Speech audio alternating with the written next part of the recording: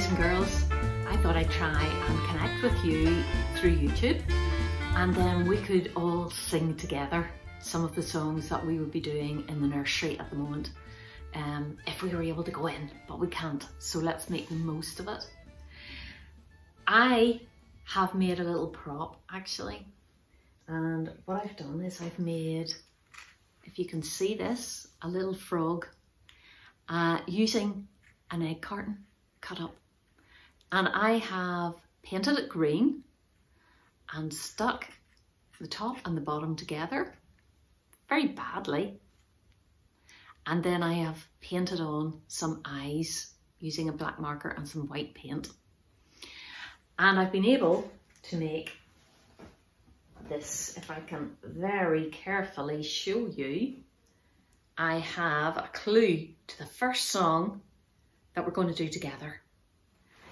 Maybe if we count and see how many little frogs I have. One, two, three, four, five little speckled frogs. You're right, five little speckled frogs. So I'm going to set them down there. I'm going to get my guitar and I hope you're going to sing along with me. Five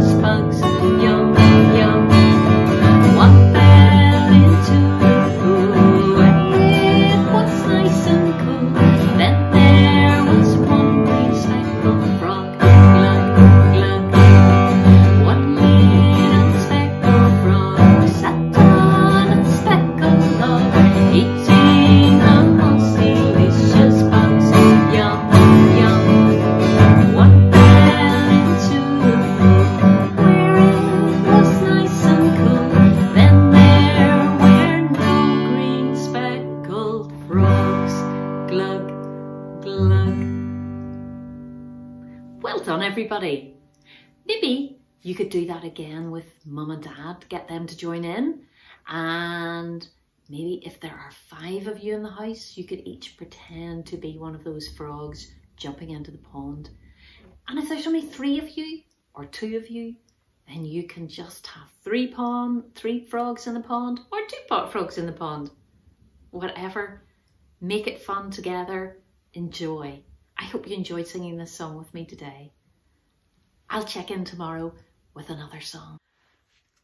By the way, boys and girls, why don't you have a go at making one of these? All you need is an empty egg carton, some green paint, a little bit of white paint, although that's not essential, and some a black felt pen, a black marker pen for the eyes, and some sellotape just to stick it together at the back. Why don't you have a go at making your five speckled frogs as well and get a branch out of the garden for them to sit on? Then you could sing the song and act it out with your frogs that you made yourself. Take care, have fun. Bye.